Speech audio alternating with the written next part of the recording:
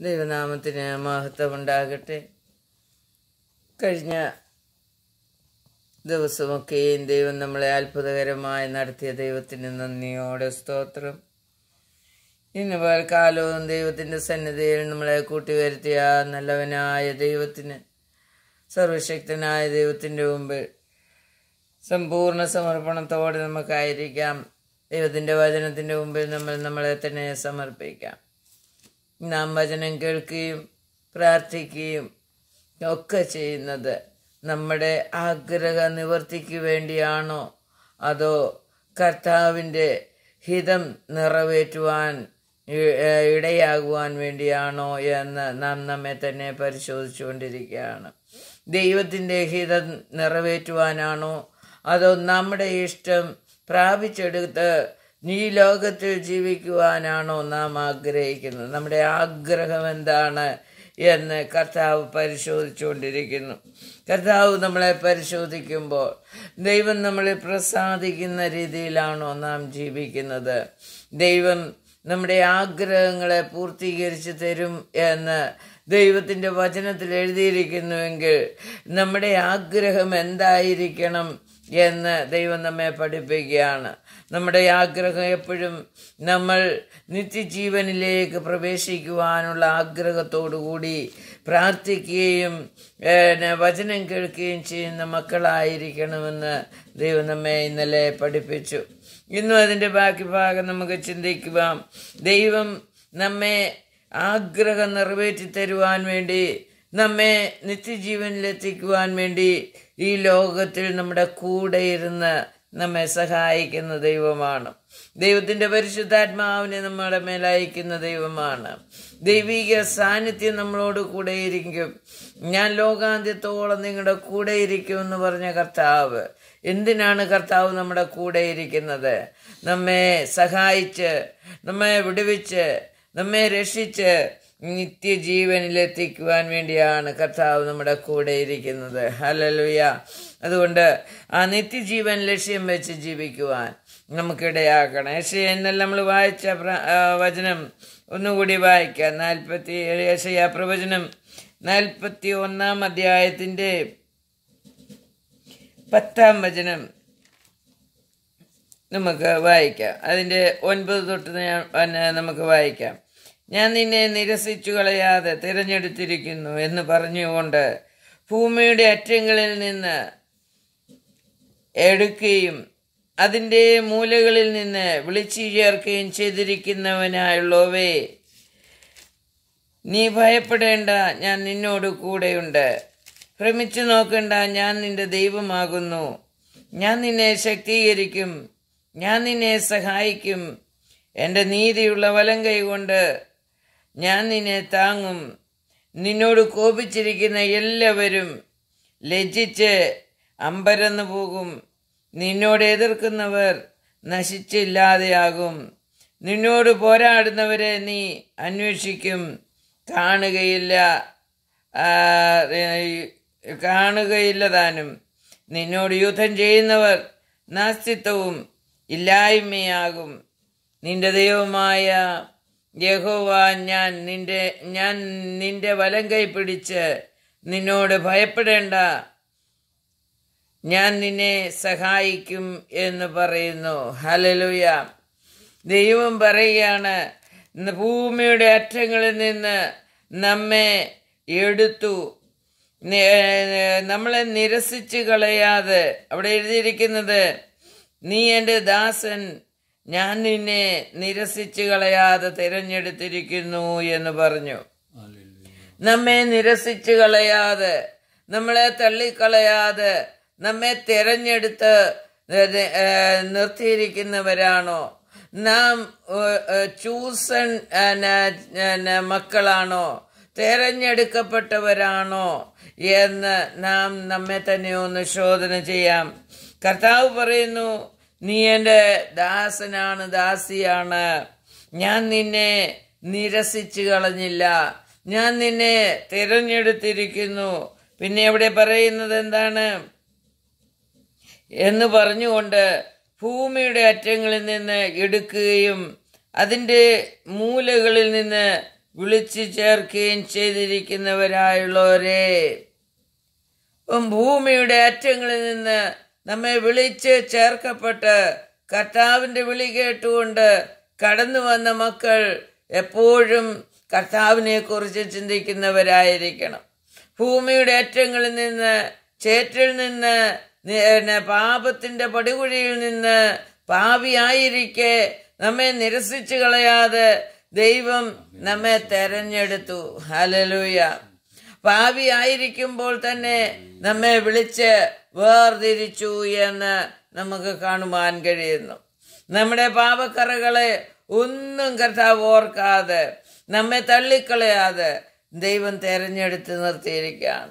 ആ തെരഞ്ഞെടുത്തവർ തെരഞ്ഞെടുത്തവർ എങ്ങനെയായിരിക്കണം? ആ ആ തെരഞ്ഞെടുത്തവന് വേണ്ടി അല്ലെങ്കിൽ എന്തിനു വേണ്ടി എന്നെ തെരഞ്ഞെടുത്തുവോ? അതിനു വേണ്ടി ജീവിക്കുന്നവരായിരിക്കണം. ഹലലുയ നമ്മൾ തെരഞ്ഞെടുത്തു കഴിഞ്ഞ് നമ്മുടെ ഇഷ്ടത്തിന് എങ്ങും പോകുവാൻ കഴിയത്തില്ല. നമ്മളെ ഒരു കമ്പനിയിൽ ജോലിക്ക് വേണ്ടി തെരഞ്ഞെടുത്തു കഴിഞ്ഞാൽ അവർ പറയുന്ന നിയമപ്രകാരം നാം ജീവിച്ചെങ്കിലേ പറ്റുകയുള്ളൂ. നാം ഒരു രാജ്യത്തിന്റെ സേവനത്തിന് വേണ്ടി സോൾജിയറായിട്ട് തിരഞ്ഞെടുത്താൽ ആ അവർ നമ്മെ പഠിപ്പിക്കുന്ന രീതിയിൽ നാം ജീവിച്ചെങ്കിലേ പറ്റുകയുള്ളൂ. അതുപോലെ കർത്താവ് നമ്മളെ പാപികളായിരിക്കുമ്പോൾ തന്നെ കുറവുള്ളവരായിരിക്കുമ്പോൾ തന്നെ ദൈവം നമ്മെ നിരസിച്ചു കളയാതെ തള്ളിക്കളയാതെ തിരഞ്ഞെടുത്തുവെങ്കിൽ നാം എന്ത് ചെയ്യണം? കർത്താവിന് വേണ്ടി ജീവിക്കണം. ഹലലുയ്യ നാം തിരഞ്ഞെടുക്കപ്പെട്ടു കഴിഞ്ഞാൽ നാം തിരഞ്ഞെടുക്കപ്പെട്ട ഒരു ദാസിയാണ് ദാസനാണെന്ന് ബോധമുണ്ടെങ്കിൽ കർത്താവിന് വേണ്ടി ജീവിക്കണം. തെരഞ്ഞെടുക്കപ്പെട്ടവന് വേണ്ടി ജീവിക്കണം. വിളിച്ചവന് വേണ്ടി ജീവിക്കണം എന്ന് ദൈവം നമ്മെ വെളിപ്പെടുത്തുകയാണ്. അങ്ങനെ ജീവിച്ചാൽ എന്ത് ചെയ്യും? അവിടെ പറയുന്നു ഭയപ്പെടേണ്ട. വിളിച്ചവൻ വിളിച്ചതിന് വിളിച്ചത് എന്തിനാണോ അതിനുവേണ്ടി ഞാൻ നാം ജീവിക്കാൻ തുടങ്ങിയാൽ ദൈവം പറയുന്നു നീ ഭയപ്പെടേണ്ട കാര്യമില്ല. എന്തുകൊണ്ട്? ഞാൻ നിന്നോട് കൂടെയുണ്ട്. വിളിച്ചവൻ വിളിച്ചിട്ട് വല്ലവരെ ഏൽപ്പിച്ചിട്ട് പോന്ന ഒരു തെരഞ്ഞെടുപ്പല്ല കർത്താവ് ചെയ്യുന്നത്. കർത്താവ് നമ്മളെ വിളിച്ച് തിരഞ്ഞെടുത്ത് നമ്മെ ദൈവത്തിന്റെ സന്നിധിയിലേക്ക് ആക്കിയിരിക്കുന്നെങ്കിൽ പറയാണ് നീ എന്റെ അടുത്ത് എന്റെ വിളി കേട്ടുകൊണ്ട് നിൽക്കുന്നെങ്കിൽ നിനക്ക് ഭയപ്പെടേണ്ടി വരികയില്ല. കാരണം ഞാൻ നിന്റെ കൂടെ ഉണ്ട്. വീണ്ടും അവിടെ പറയുന്നത് എന്താണ്? അവിടെ പറയാണ് ഞാൻ നിന്നെ ശാക്തീകരിക്കും. ഞാൻ നിന്നെ സഹായിക്കും.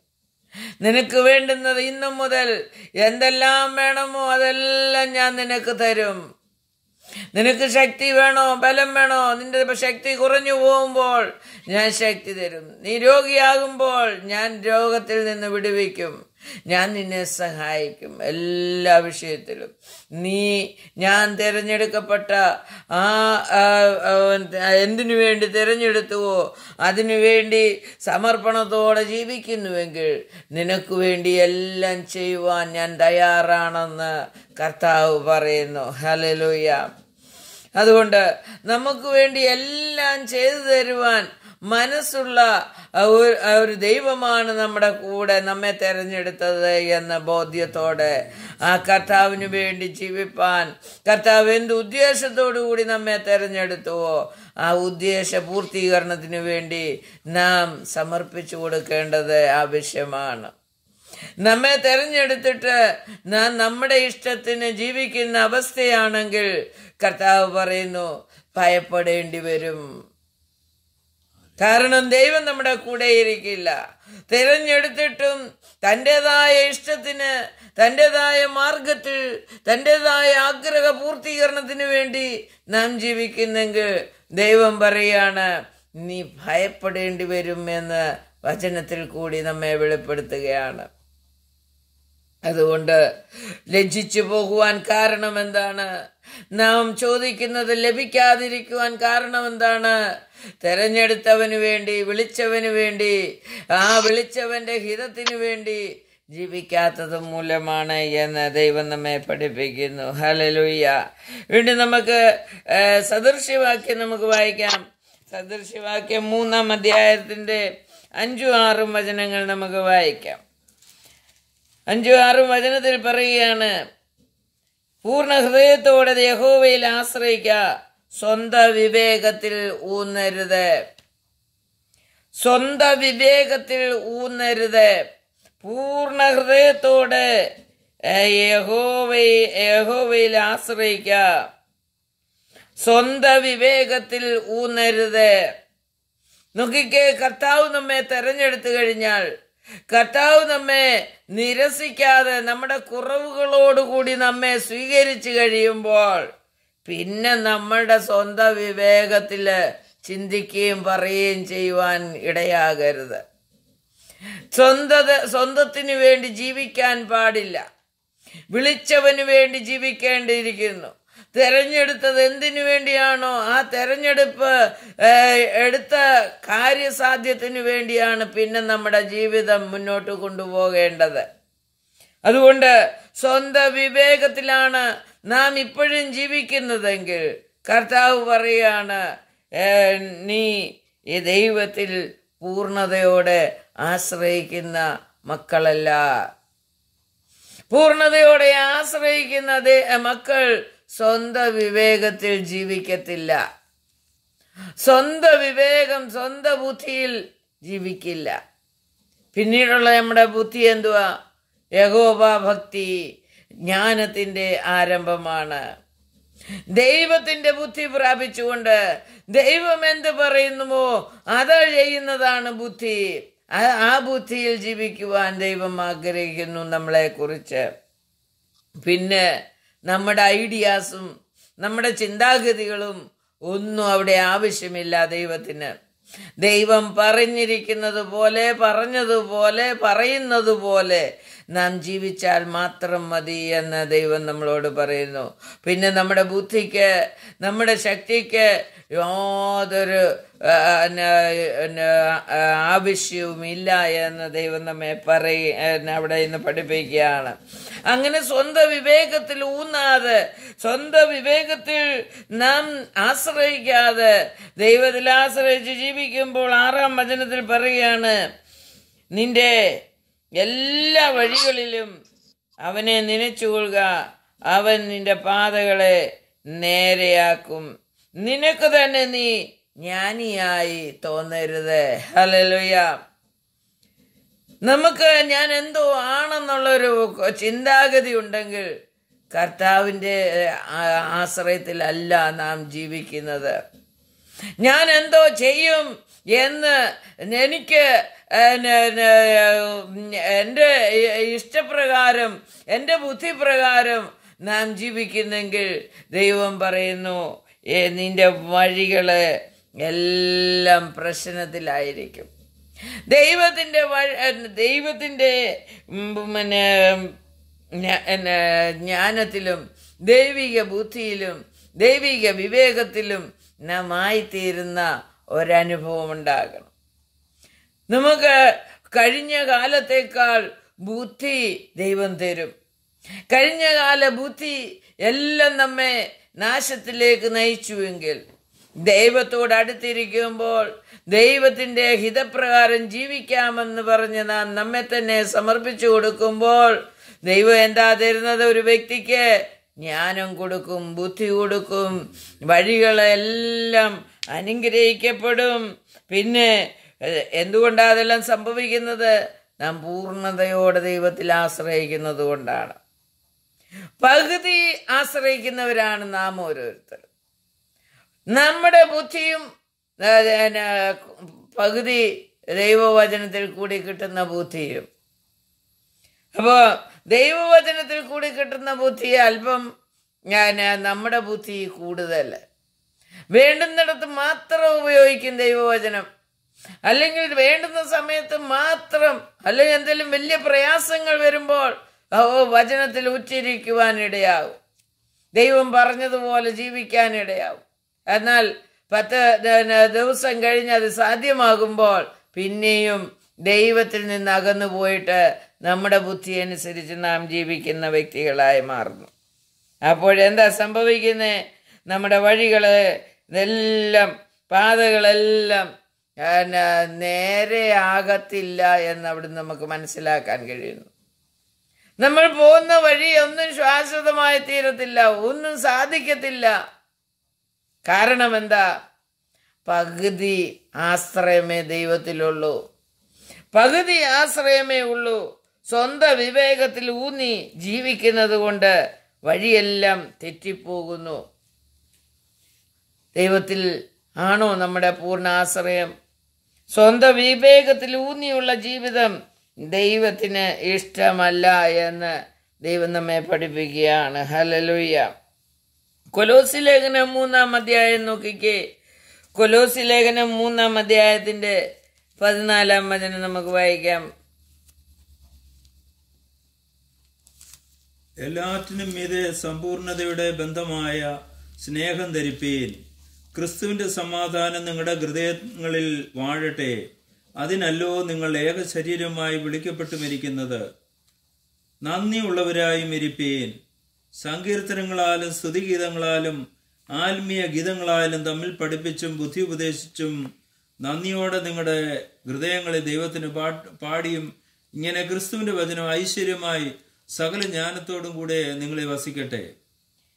ആമേ അവിടെ പന്ത്രണ്ടാമത്തെ വചനം തൊട്ട് നമുക്കൊന്ന് വായിക്കാം. ദൈവത്തിന്റെ വൃതന്മാരും വിശുദ്ധരുമാ വിശുദ്ധന്മാരും പ്രിയരുമായിട്ട് മനസ്സലിവ് ദയ താഴ്മ സൗമ്യത ദീർഘക്ഷമ എന്നിവ ധരിച്ചുകൊണ്ട് അന്യോന്യം പൊറുക്കി ഒരുവനോട് ഒരുവന് വഴക്കുണ്ടായാൽ തമ്മിൽ ക്ഷമിക്കുകയും ചെയ്യുവീൻ. നോക്കിക്കേ ദൈവത്തിന്റെ വൃതന്മാര് എങ്ങനെയായിരിക്കണം? ദൈവഭക്തന്മാര് എങ്ങനെയായിരിക്കണം എന്നവിടെ പറയുകയാണ്. അവിടെ പറയുന്ന ദൈവത്തിന്റെ വ്രതന്മാരും വിശുദ്ധന്മാരും പ്രിയരുമായി. ഇപ്പം ദൈവത്തിന്റെ പ്രിയരായി വിശുദ്ധന്മാരായി ദൈവത്തിന്റെ വ്രതനായി നാം മാറണമെങ്കിൽ നമ്മുടെ ജീവിതത്തിൽ എന്തുണ്ടാകണം? മനസ്സലിവുണ്ടാകണം. ദയ താഴ്മ സൗമ്യത ദീർഘക്ഷമ ഇതെല്ലാം ആത്മാവിന്റെ ഫലമാണ് എന്ന് മനസ്സിലാക്കണം. പരിശുദ്ധാത്മാവിന്റെ ഫലമില്ലാതെ നമുക്ക് പരിശുദ്ധാത്മാവിനെ പ്രാപിക്കാതെ ദൈവത്തിന്റെ വിശുദ്ധരായി ദൈവത്തിന്റെ പിന്നെ വൃതനായിട്ട് പിന്നെ ദൈവത്തിന്റെ പ്രിയരായി മാറുവാൻ കഴിയുകയില്ല എന്ന് ദൈവം നമ്മോട് പിന്നെ വചനത്തിൽ കൂടി വെളിപ്പെടുത്തുകയാണ്. നമ്മളിൽ ദൈവത്തിന്റെ പരിശുദ്ധാത്മാവിന്റെ ഫലം ഉണ്ടാകണം. ആ ഫലം നമ്മളിൽ ഒരു പിന്നെ ഉണ്ടാകുന്നില്ല എങ്കിൽ ഇത് ഒന്നിച്ച് ഒരു ഒരു ഒരു ഫലമാണ്. ഇതിൽ ഒന്ന് നമ്മളിലുണ്ട് ഒന്ന് നമ്മളിൽ ഇല്ല എങ്കിൽ ഒന്നുമില്ലാത്ത അവസ്ഥയാണ് നമ്മളിൽ ഉണ്ടാകുന്നത്. അതുകൊണ്ട് നമ്മളിൽ പരിശുദ്ധാത്മാവുണ്ടെങ്കിൽ ഈ- ഒരു ഫലമായി നിൽക്കുന്ന എന്ത് ദയ മനസ്സലിവ് താഴ്മ സൗമ്യത ദീർഘക്ഷമ എല്ലാം നമ്മളിൽ ഉണ്ടാകുവാനിടയാകും. ഇന്ദ്രിയ ജയമുണ്ടാകുവാനിടയാകും എല്ലാ ദൈവത്തിന്റെ പരിശുദ്ധാത്മാവിന്റെ ഫലം നമ്മുടെ ഉള്ളിലേക്ക് വരുവാനിടയായി തീരണം എന്നിട്ട് കർത്താവ് പറയാണ് പതിനാലാമത്തെ ഒരു ഒരുവനോട് ഒരുവന് വഴക്കുണ്ടായ തമ്മിൽ ക്ഷമിക്കുകയും ചെയ്യുവീൻ. കർത്താവ് നിങ്ങളോട് ക്ഷമിച്ചതുപോലെ നിങ്ങളും ചെയ്യുവീൻ. ഹലലൂയ എല്ലാറ്റിനും മീതെ സമ്പൂർണതയുടെ ബന്ധമായ സ്നേഹം ധരിപ്പീൻ. ക്രിസ്തുവിന്റെ സമാധാനം നിങ്ങളുടെ ഹൃദയങ്ങളിൽ വാഴട്ടെ. ഇതില്ലാത്തവന് ഈ പറഞ്ഞ പ്രകാരം ജീവിക്കാത്തവന് ക്രിസ്തുവിന്റെ സമാധാനം ഉള്ളിലുണ്ടാകത്തില്ല. ക്രിസ്തു ഉള്ളിൽ വരത്തില്ല. ക്രിസ്തു ഉള്ളിൽ ഇല്ലാത്തവന് എപ്പോഴും പ്രശ്നമാണ് എപ്പോഴും സമാധാനമില്ലാത്ത ചിന്തകളും സമാധാനം തരാത്ത പ്രവർത്തനങ്ങളും ഉണ്ടായിക്കൊണ്ടേയിരിക്കും. അപ്പൊ ക്രിസ്തു ഉള്ളിൽ വന്ന് വസിക്കണമെങ്കിൽ നാം എന്ത് ചെയ്യണം? വൃദ്ധനായി മാറണം വിശുദ്ധരായി മാറണം പ്രിയരായി മാറണം. ദൈവത്തിന്റെ പ്രിയരായി ജീവിക്കുവാനിടയായി തീരണം ദൈവത്തിന്റെ മുമ്പിൽ വിശുദ്ധനായി തീരുവാനിടയായി തീരണം വിശുദ്ധനാണോ എന്ന് നാം പറയലേന്ന് നമ്മുടെ മേൽ വരുന്ന അനുഗ്രഹങ്ങൾ നിമിത്തം നാം വിശുദ്ധരാണോ ദൈവത്തിന്റെ പ്രിയരാണോ എന്ന് നമുക്ക് മനസ്സിലാക്കാൻ കഴിയും. നമുക്ക് വരുന്ന സ്വഭാവ വിശുദ്ധി കണ്ടുകൊണ്ട് നമ്മുടെ വരുന്ന ജീവിത വിശുദ്ധി കണ്ടുകൊണ്ട് ദൈവത്തിന്റെ പ്രിയരാണോ എന്ന് നമുക്ക് നമ്മളെ തന്നെ മനസ്സിലാക്കുവാൻ കഴിയും. നമ്മൾ താഴ്മയില്ലാതെ ഗർവിച്ച് ജീവിക്കുന്ന ഗർവിച്ച് തന്നിൽ തന്നെ ആശ്രയിച്ച് സ്വന്തം വിവേകത്തിൽ ഊന്നിക്കൊണ്ട് ജീവിക്കുന്ന വ്യക്തിയാണെങ്കിൽ ദൈവിക സമാധാനം ഉള്ളിൽ ഉണ്ടാകുകയില്ല. സമാധാനം ഉണ്ടെന്ന് നടിക്കുവാൻ നമുക്ക് കഴിയും. സ്വർഗീയ സമാധാനം ഉണ്ടെന്ന് നമുക്ക് നമ്മൾ പറയാ "ആ, ഞങ്ങൾ വലിയ സമാധാനത്തിലാണെന്ന് പറഞ്ഞുകൊണ്ട് നമ്മൾ നമ്മളെ തന്നെ സമാധാനിപ്പിച്ച് ജീവിക്കും. എന്നാൽ കർത്താവിന്റെ സമാധാനം നമ്മളിൽ ഉണ്ടെങ്കിൽ നമ്മുടെ ജീവിതത്തിൽ എല്ലാ വഴിയും ശാശ്വതമായ വഴിയായിരിക്കും അനുഗ്രഹിക്കപ്പെട്ട വഴിയായിരിക്കും. പാതയെല്ലാം നേരെയായിരിക്കും. ഒന്നിനും തടസ്സങ്ങളുണ്ടാകുകയില്ല. ഒരു പ്രശ്നങ്ങളും കടന്നു വരികയില്ല. സമാധാനം നമ്മുടെ ജീവിതത്തിൽ എപ്പോഴും നിലനിൽക്കുമെന്ന് ദൈവത്തിന്റെ വചനം നമ്മെ പഠിപ്പിക്കുന്നു. അതിനെ നോക്കിക്കേ അങ്ങനെ ജീവിച്ചിട്ട് ക്രിസ്തുവിന്റെ സമാധാനം നമ്മളിൽ വരുമ്പോൾ നമ്മൾ എന്തായിരിക്കും? ക്രിസ്തുവിനോട് ഏക ശരീരമുള്ളവരായി മാറുന്നു. പിന്നെ ആ ശരീരത്തിൽ എന്താ സംഭവിക്കുന്നത്? ദൈവത്തോട് നന്ദിയുള്ളവരായിരിക്കും. സങ്കീർത്തനങ്ങളാലും സ്തുതികളാലും ആത്മീയ ഗീതങ്ങളാലും തമ്മിൽ പഠിപ്പിച്ച് ബുദ്ധി പഠിക്കും. ഹല്ലേലൂയ. അപ്പോൾ പ്രാർത്ഥനയും ആരാധനയും വചന കേൾവിയും ഒക്കെ എന്ത് എന്ത് നമുക്ക് തരുന്നത്? ബുദ്ധി തരുന്നതാണ്. ബുദ്ധി പഠിപ്പിക്കാൻ വേണ്ടിയാണ് ദൈവം നമ്മെ വചനം കേൾപ്പിക്കുന്നത് പാട്ടുപാടാൻ പറയുന്നത് അല്ലെങ്കിൽ സങ്കീർത്തനം എന്ന് പറഞ്ഞ പ്രാർത്ഥിക്കാൻ പറയുന്നത്. പ്രാർത്ഥനയും പ്രാ- പാട്ടും ആ വചന കേൾവി ഒക്കെ നമുക്ക് ബുദ്ധി വർദ്ധിപ്പിക്കുന്നതായി തീരണം. ഹലലൂയ ഈ ലോക ജീവിതത്തിൽ ജീവിച്ച് ജീവിച്ച് ജീവിച്ച് സ്വർഗത്തിലെത്തുവാൻ തക്കവണ്ണമുള്ള ബുദ്ധിയാണ് ദൈവം തരുന്നത്.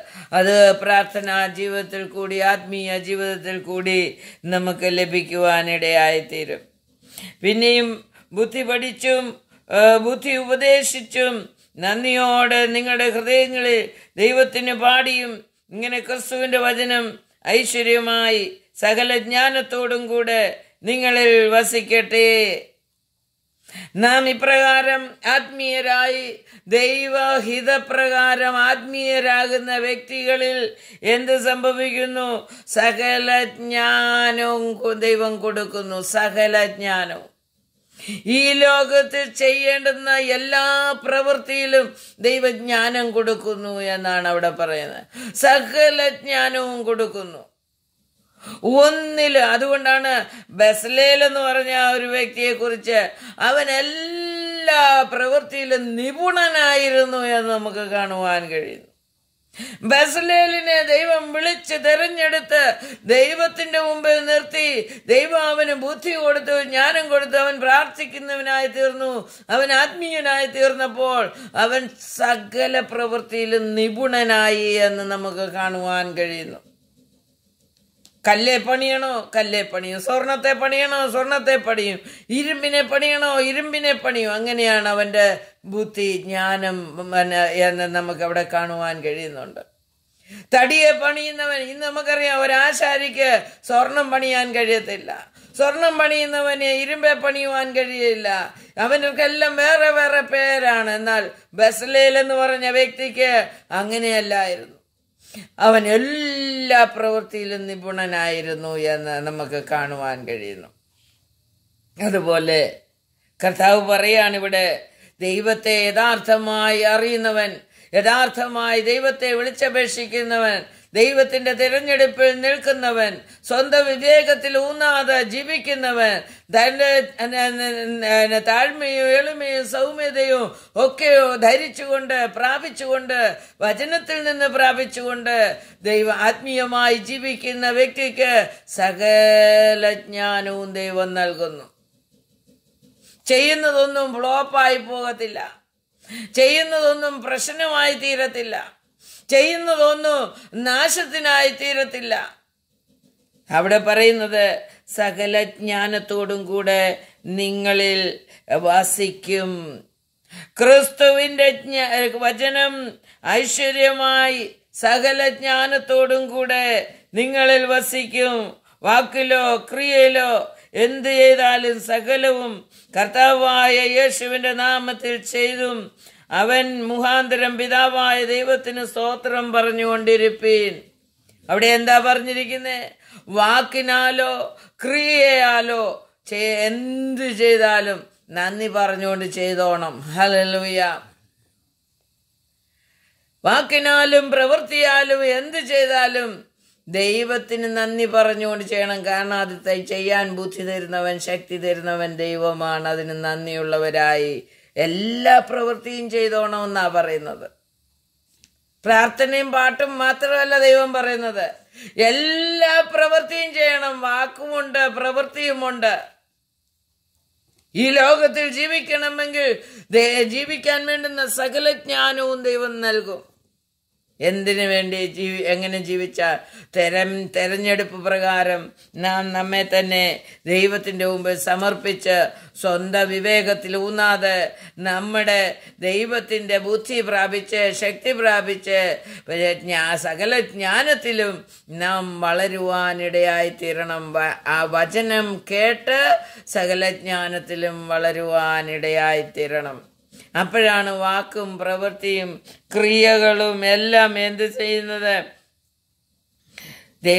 നന്മയായി തീരുകയും അതെല്ലാം ദൈവത്തിന് നന്ദിയായി മാറുകയും ചെയ്യുന്നത്. ഹലലുയ എന്ത് പ്രവൃത്തി ചെയ്താലും അത് നല്ലതെന്ന് മറ്റുള്ളവർ പറയുവാനും നമുക്ക് കാണുവാനും ഇടയായി തീരണം നമ്മൾ സ്വയമായിട്ട് ചെയ്യുന്ന പ്രവൃത്തിയിൽ ആ ഞാൻ നല്ലതായിട്ട് ചെയ്തു എന്ന് നമുക്ക് തന്നെ ഒരു സമാധാനം ഉണ്ടാകുവാനിടയായി തീരണം അതുപോലെ മറ്റുള്ളവർ പറയണം ആ നല്ലതായി ചെയ്തു ഹലലുയ ഇതാണ് ദൈവം ആഗ്രഹിക്കുന്നത്.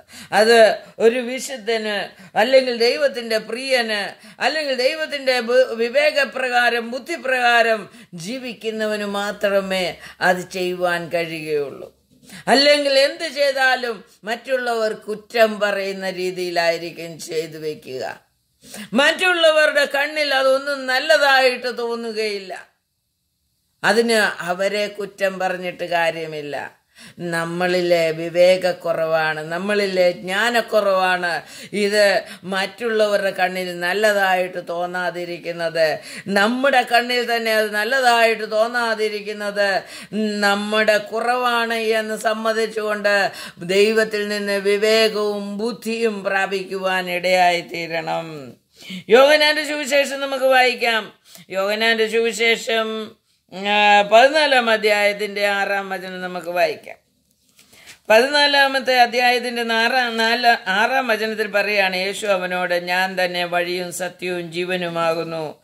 ഞാൻ മുഖാന്തരമല്ലാതെ ആരും പിതാവിന്റെ അടുക്കൽ എത്തുന്നില്ല.